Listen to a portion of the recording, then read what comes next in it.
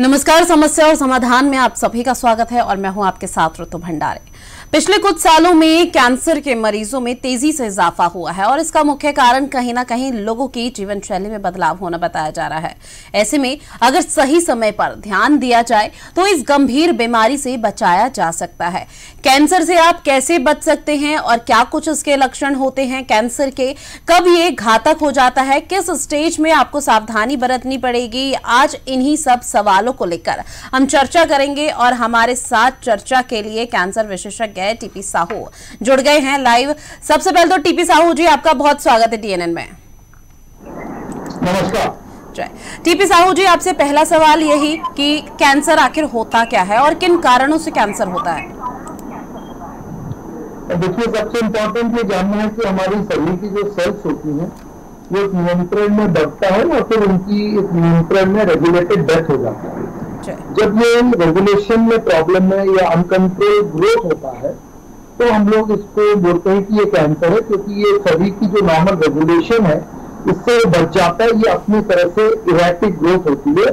और ये लंबे समय तक जीते हैं और इतना इमेच्योर होते हैं कि ये शरीर के कोई भी फ़ंक्शन कर नहीं पाते और ये तेज़ी से खून के वेसल्स के द्वारा एक जगह से दूसरी जगह फैल जाते हैं। इसको हम आमतौर से कैंसर बोलते हैं। ये बहुत सारे कारणों से हो सकता है। जैसे कुछ कैंसर अनुवांशिक होते हैं, जो कि परिवार में चलती हैं। ये रेयर है, पर पाँच परसेंट से आठ परसेंट कैंसर अनुवांशिक हो सकते हैं specially breast cancer ovarian cancer pancreatic cancer prostate cancer अगर हम और बात करें तो कैंसर में तंबाकू सबसे इम्पोर्टेंट कारण है, क्योंकि तंबाकू एक ऐसी चीज़ है, जिससे कि फेफड़ों का कैंसर होता है, पेशाब के गले कैंसर होता है और गले का कैंसर तो होता ही है। तो ये एक ऐसा कैंसर है जो हम अपने शरीर को देते हैं क्योंकि तंबाकू से हम अपने शरीर को नुकसान करते हैं और ये नेचुरल नहीं होता। इसके अलावा ओबेसिटी मोटापा। मोटापा भी एक बहुत इंपॉर्टेंट कारण है। ये भी देखा गया कि अगर ज़्यादा मोटापा है तो कैंसर का होने का चांसेस ज़्यादा है स्पेशली आँख का कैंसर ये सब ब्रेस्ट कैंसर लास्ट इज़ खान पान।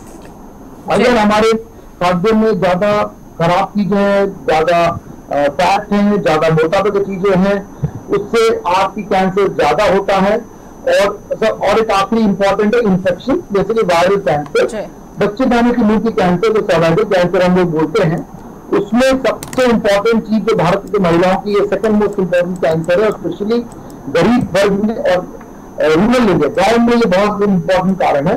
इसमें ह्यूमन पैपिलोमा वायरस करके एक वायरस है उससे ये कैंसर जो होता है ये मुँह और गले का कैंसर भी बहुत समय ह्यूमन पैपिलोमा वायरस से हो सकता है।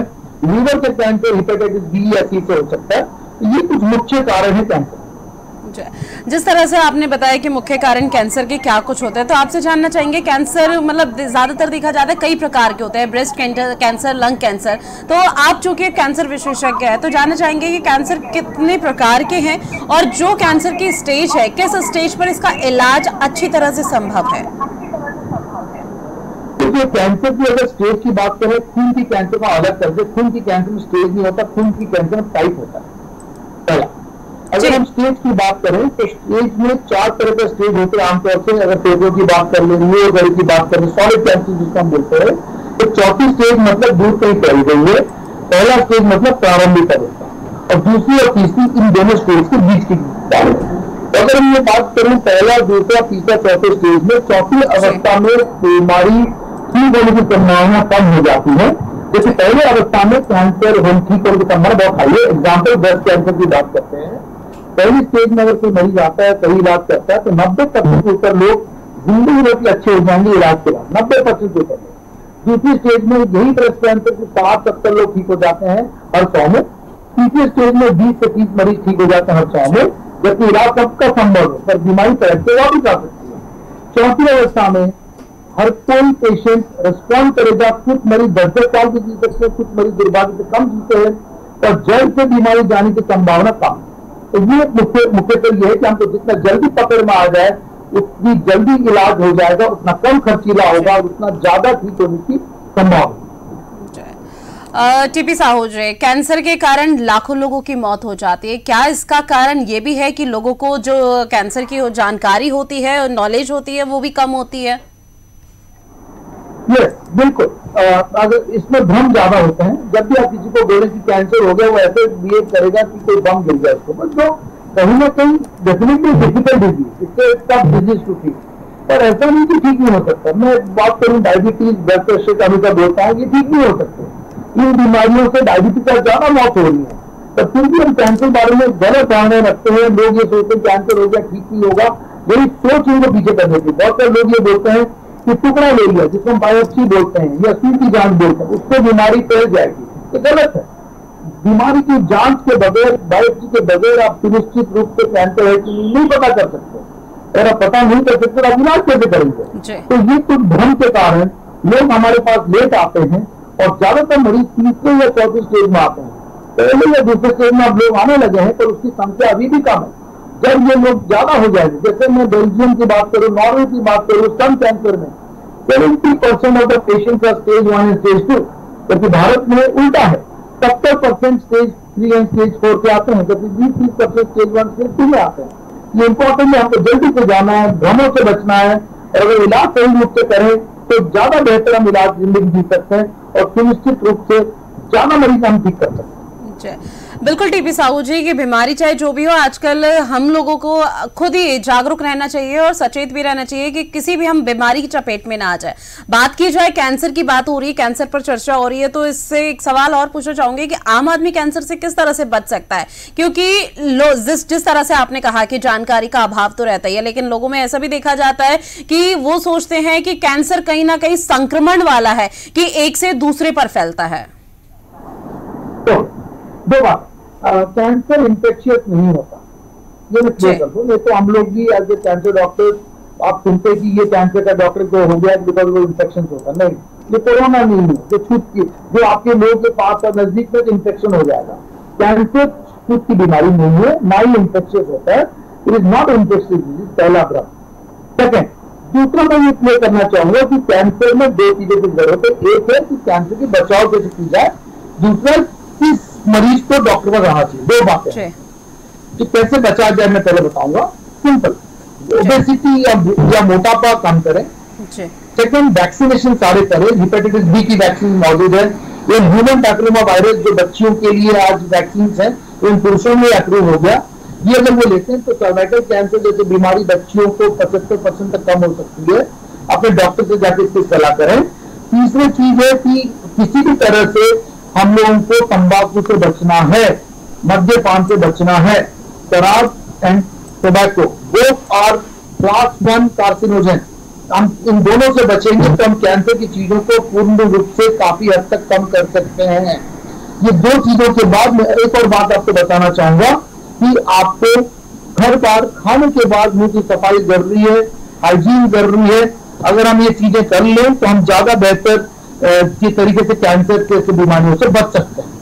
अब हम बात करें कि हम लोग इससे कैसे इसकी आ, कि कैसे हम इससे जल्दी पकड़ना है मैं सिंपल एक चीज़ बोलता हूँ अगर किसी की पेशेंट को कोई भी सिम्टम्स नया होता है मतलब जल्दी से होता है मतलब आज हमने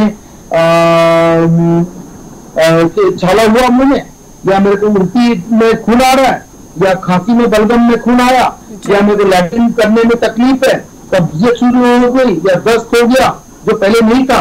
प्लीज़ जाके अपनी डॉक्टरी जाँच करें प्लीज़ महिला के सर में गठान हो गया प्लीज़ जाके डॉक्टरी जाँच करें। मेरा मोटा मोटी तौर पर यह कहना है कि कोई भी सिम्टम्स अगर नया है प्लीज़ जाके तुरंत डॉक्टरी जाँच करिए। हो सकता है कैंसर हो सकता है कैंसर ना भी हो but don't meet a doctor that's important TP Sahu ji एक सवाल और कि क्या कैंसर की कोई उम्र होती है कि इस उम्र में कैंसर सबसे ज़्यादा प्रभावित करेगा और इस उम्र में आप किसी भी को भी कैंसर हो सकता है? ऐसा नहीं है। कैंसर की उम्र की अगर बात करूँ तो बच्चों में अलग तरह का कैंसर होता है छोटे बच्चों में ब्लड कैंसर ज़्यादा होता है लिम्फोमा ज़्यादा होता है ब्रेन ट्यूमर ज़्यादा होते हैं। बुज़ुर्गों की बात करूँ तो आँख की कैंसर ज़्यादा होता है फेफड़ों की कैंसर ज़्यादा होता है। Young twenty years eighteen years twenty five years की अगर बात करूँ तो लिम्फोमा ज़्यादा होता है। और एक कैंसर होता है, जो टेस्टिकुलर कैंसर कहलाती है जम से ट्यूमर वो ज़्यादा होता है। तो हमको ये जानने की ज़रूरत है कि हर उम्र में हर टाइप का कैंसर ज़्यादातर होता है पर किसी भी उम्र में कोई भी कैंसर हो सकता है। ये भी ये भी समझ में आना चाहिए। जी, बिल्कुल।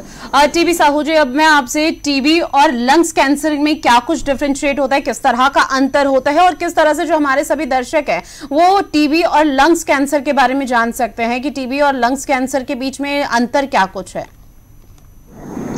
टीबी और लंग कैंसर, टीबी एक इन्फेक्शन है, जो बलगम के अंदर अगर बैक्टीरिया है तो वो आपको इन्फेक्ट कर सकता है। टीबी कैंसर नहीं है और कैंसर में जो मैंने बोला कि शरीर के जो सेल्स है नियंत्रण खो गया है और वो काबू में नहीं है और वो जल्दी से बढ़ के एक दूसरी जगह पे फैल जाते हैं। तो टीबी और अगर मैं कैंसर की बात करूँ तो ये दो चीज़ें बहुत ज़रूरी है जानना टीबी में हमारे जो इलाज है वो संभव है। नौ महीने की या छह महीने की या एक साल की इलाज टीबी स्पेशलिस्ट आपको बताएँगे तीन दवाई या चार दवाई के आधार पर आपको लेना पड़ता है। जबकि कैंसर में आपको बायोप्सी करके कंफर्म करना पड़ता है। कैंसर क्या बीमारी है ये पता करना पड़ता है। इसलिए अगर पेपरों में कोई भी गठान होती है तो मेरे को लगता है कि उसकी बायोप्सी होना चाहिए इसमें ये क्लियर हो जाएगा कि टीबी है या कैंसर है। और ये चीज़ को जानने के बाद हम कैंसर की स्टेज करते हैं और स्टेज करने के बाद फिर इलाज पे आते हैं। जी, बिल्कुल। डॉक्टर साहू जी, जिस तरह से अभी कोरोना महामारी फैल रही है तो ऐसे में लगातार कहा जा रहा है कि अपने इम्यून सिस्टम को आप काफ़ी स्ट्रांग रखिए, क्योंकि जो कोरोना वायरस की महामारी है, ये उन लोगों पर ज़्यादा हो रही है, बड़े बुज़ुर्गों पर, बच्चों पर, या फिर जिनका इम्यून सिस्टम वीक है। तो ऐसे ही अगर जब कैंसर की बात की जा रही है तो कैंसर में क्या कमज़ोर स्वास्थ्य के जो लोग होते हैं, उन पर कैंसर होने का ज़्यादा खतरा बन जाता है? कोरोना होने का आप बोल रहे हैं? इम्यून की बात कर रहे हैं। डॉक्टर साहू जी अब तक हमारी आवाज़ पहुँच रही है। जिनकी इम्यूनिटी अच्छा अगर आप ये बोल रहे हैं कि आपकी इम्यूनिटी अगर कम है तो आपको कैंसर ज़्यादा हो जाएगा जी। तो ऐसा कोई सुनिश्चित डेटा हमारे पास नहीं है। जी। और ये भी मैं बता दूँ कि कैंसर मरीजों को ज़्यादा कोरोना होता है ऐसी कुछ स्टडीज़ आई है पर बड़ी स्टडीज़ में ये पाया नहीं गया तो ये दोनों बातों पे अभी हमारे को और तथ्य ढूंढना बाकी है और प्रूफ हमको और ज़्यादा लेना बाकी जी, बिल्कुल। साहू जी, क्या धूम्रपान और जिस तरह से आजकल देखा जा रहा है कि जो युवा वर्ग है, वो ज़्यादातर नशे की लत में डूबा हुआ है और ऐसे में चाहे उन्हें कितना भी मना कर दिया जाए कितना भी सलाह दी जाए कि धूम्रपान से दूर रहा जाए, नशे से दूर रहा जाए तो नहीं अपने आप को काबू या कंट्रोल में नहीं कर पाते। बात अगर की जाए, धूम्रपान, तंबाकू या पान चबाने से क्या कैंसर का खतरा ज़्यादा हो सकता है? लंग्स कैंसर में कितना इफ़ेक्ट इस दौरान ये कर सकता है? डेफिनेटली अगर धूम्रपान है जैसे मैं बोला तंबाकू है धूम्रपान मतलब तंबाकू एक फॉर्म है इसमें फेफड़ों के कैंसर का एक बहुत बड़ा रिस्क फैक्टर है। और अगर हम तो गुटखा लेते हैं तो वो एक मुँह का कैंसर का बड़ा रिस्क है। और इसमें तो कोई दौरान ही कि सत्तर परसेंट करीबन जो फेफड़े और लंग्स के जो मुँह के कैंसर है वो तंबाकू जड़ित है। तो अच्छा। इसमें तो कोई शक ही नहीं है।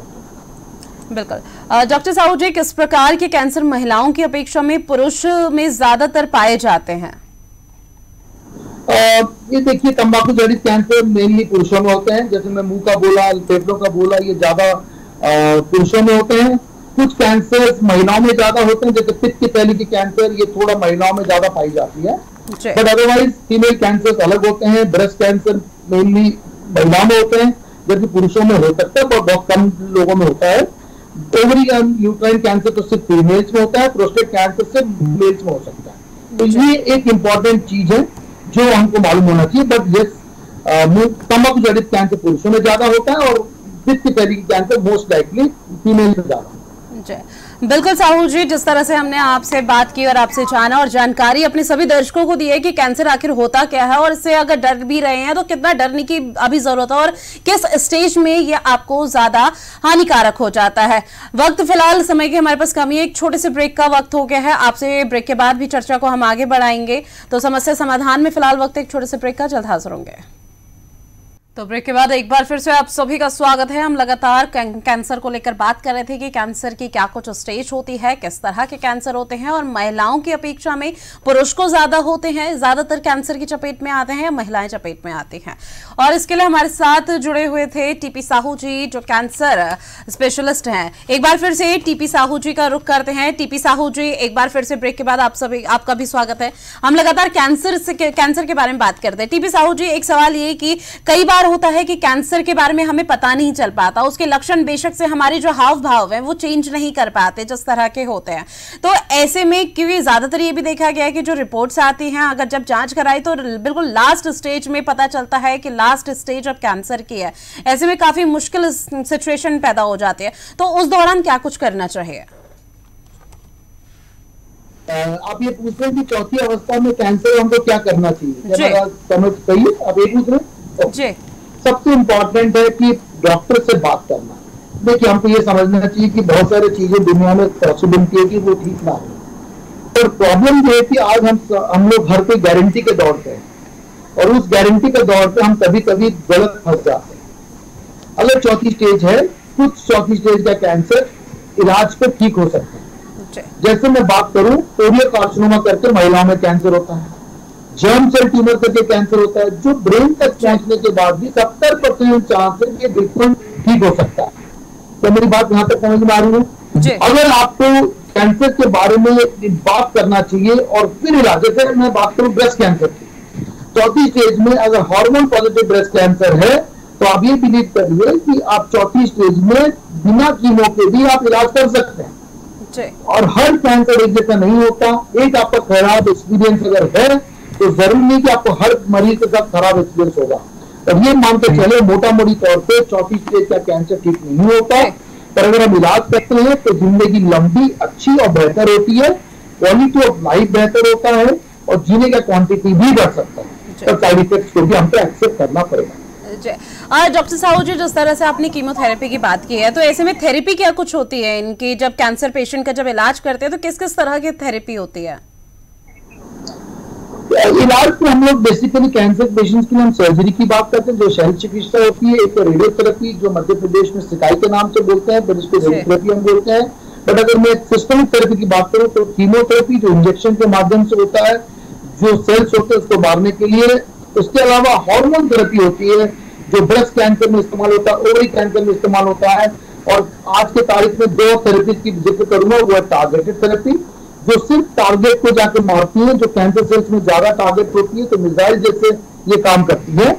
और लास्ट स्टेज आपकी जो होती है, वो है आपकी इम्यूनोथेरेपी मतलब कुछ सेल्स कुछ दवाइयाँ दी जाती है जिसमें आपकी शरीर की इम्यूनिटी कैंसर सेल्स को पहचान करके उसकी माउथ को मार सके तो ये इंपॉर्टेंट चीज़ें हैं आज की तारीख में। इतने तरह के इलाज संभव है। पर कौन से पेशेंट को, कौन से इलाज की ज़रूरत है, वो डॉक्टर से बैठ के वन टू वन में बात करना। जी, बिल्कुल। पहले जाँच करनी चाहिए उस हिसाब से। डॉक्टर क्या किस तरह की जानकारी देते हैं, किस तरह से क्या कुछ कहते हैं, उसके बारे में करनी चाहिए। और जागरूक तो सबसे अहम हिस्सा होता है, महत्वपूर्ण हिस्सा होता है कि हर किसी को पहले तो जागरूक होना चाहिए कि कैंसर आखिर है क्या। जिस तरह से आपने भी बताया, ऐसे में ज़्यादातर देखा जाता है कि जो कैंसर पेशेंट होते हैं, उनको काफ़ी दर्द होता है और वो काफ़ी दर्द में होते हैं और कैंसर पेशेंट उस दर्द को किस तरह से सहन करते हैं, जो असहनीय दर्द होता है, वो सामने वाला एक नॉर्मल इंसान भी सहन नहीं कर पाता उन कैंसर पेशेंट को दर्द में देखकर। तो ऐसे में जानना चाहेंगे, क्या जो कैंसर की फ़र्स्ट स्टेज होती है, उस दौरान भी दर्द का आभास होता है कैंसर पेशेंट को?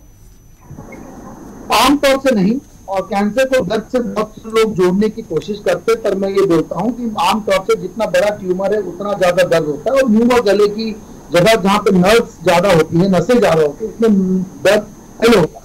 पर आज की तारीख में इतनी अच्छी अच्छी दवाइयाँ मौजूद है मॉर्फिन है पैचेज है, जिसमें कैंसर पेशेंट को दर्द की ज़रूरत नहीं है, उनको दर्द होने की ज़रूरत नहीं है, दवाइयों से बिल्कुल दर्द को खत्म कर सकते हैं। लेकिन कुछ लोगों की जो हड्डियाँ टूट जाती है कैंसर पेशेंट उनको रेडियोथेरेपी भी करते हैं, और कभी कभार हम न्यूरोसर्जिकल डिकॉम्प्रेशन भी करते हैं ऑर्थोपेडिक से हम फिक्सेशन भी करते हैं। तो आज के तारीख में दर्द में रहना तो गुना है। तो उसके धैर्य चाहिए और इलाज भी चाहिए और फैमिली को उस पेशेंस चाहिए। अगर फैमिली चीज़ें नहीं चाहती है चाहती एक दो दिन में हो जाए तो ये संभव नहीं है। क्योंकि चौबीस स्टेज मतलब मरीज़ कुछ महीनों से बीमार है हमने लापरवाही की इसलिए यहाँ तक पहुँचे तो ये कुछ बातें मैं आपको क्लियर करूँ कि दर्द का इलाज असंभव जी। डॉक्टर साहू जी, जिस तरह से आपने कैंसर के बारे में पूरी जानकारी दी है कि कैंसर के किस तरह के लक्षण होते हैं, कब दर्द होता है, किस स्टेज में इलाज संभव है या किस स्टेज में किस तरह की, कीमोथेरेपी होती है या थेरेपीज क्या कुछ होती है। अब बात करते हैं ब्रेस्ट कैंसर की, क्योंकि ज़्यादातर देखा जाता है ये महिलाओं में काफ़ी तादाद में पाया जाता है और इसका काफ़ी सालों से, कुछ वर्षों से अगर बात की जाए तो काफ़ी इजाफा भी हो रहा है ब्रेस्ट कैंसर की जो महिलाएँ हैं। तो ऐसे में किस तरह के क्या कुछ लक्षण होते हैं जिससे महिलाएँ को महिलाओं को, क्योंकि ज़्यादातर होता है कि ज़्यादातर सुना है कि जब ब्रेस्ट कैंसर होता है तो या तो गांठ बन जाती है या फिर हल्का फुल्का दर्द होता है। लेकिन उस दर्द और उस गांठ को ज़्यादातर महिलाएँ इग्नोर कर देती हैं। तो ऐसे में किस तरह पता लगाया जा सकता है? पहले तो आपसे समझना चाहेंगे ब्रेस्ट कैंसर आखिर होता क्या है? कैंसर कि ब्रेस्ट के सेल्स अपना नियंत्रण खो देते हैं तो इसमें गांठ भी बन सकती है। इसमें निप्पल जो होती है, जो बीच वाला हिस्सा होता है ब्रेस्ट की, उसका खिंचाव अंदर की तरफ़ हो सकता है। इसमें खून का डिस्चार्ज भी हो सकता है और इसमें स्किन जो चमड़ा होता है ब्रेस्ट के ऊपर, वो भी खिंचाव हो सकती है। तो इसको, इसमें से कोई भी सिम्टम हो सकता है। दर्द ज़रूरी नहीं you understand pain is not a necessity तो स्तन में कोई भी गठान है तो please go have doctor checkup second most important thing अगर हम दर्द के बाद, हम ब्रेस्ट कैंसर बात करें तो मैमोग्राफी की ज़रूरत है। अगर कोई गठान है किसी को डॉक्टर पास जब जाए तो मैमोग्राफी करें और फिर ज़रूरत पड़ने पे हम एफ़ या बायोप्सी कर सकते हैं। तो ये बहुत आसान है, क्योंकि ब्रेस्ट एक बाहर की हिस्से की चीज़ है आमतौर से महिलाएँ डिले करती हैं आने में, तभी ये कैंसर बढ़ जाता है और महिलाएँ टाइम से आए और अपनी ब्रेस्ट की एग्जामिनेशन खुद करे, अपने पीरियड खत्म होने के बाद या महावरी के बाद, जिसको हम बोलते हैं सेल्फ ब्रेस्ट एग्जामिनेशन तो ये गठान अपना तुरंत पकड़ में आ जाएगा दुर्भाग्यजनक होगा, अगर ये पकड़ में नहीं आए, नहीं तो आमतौर से अगर महिला केयरफुल है तो ब्रेस्ट कैंसर स्टेज वन में पकड़ा जाना लगभग तय है। अगर वो लापरवाही करते हैं या वो जागरूक है, फिर भी डर रहे आने के लिए, तभी ये ब्रेस्ट कैंसर बढ़ती है। बिल्कुल, डॉक्टर टीपी साहू जी, आपने तमाम तरह की जानकारी हमारे साथ साझा की और हमारे सभी दर्शकों को भी बताया कि किस तरह से क्या कुछ कैंसर होता है और किस तरह के क्या कुछ लक्षण होते हैं।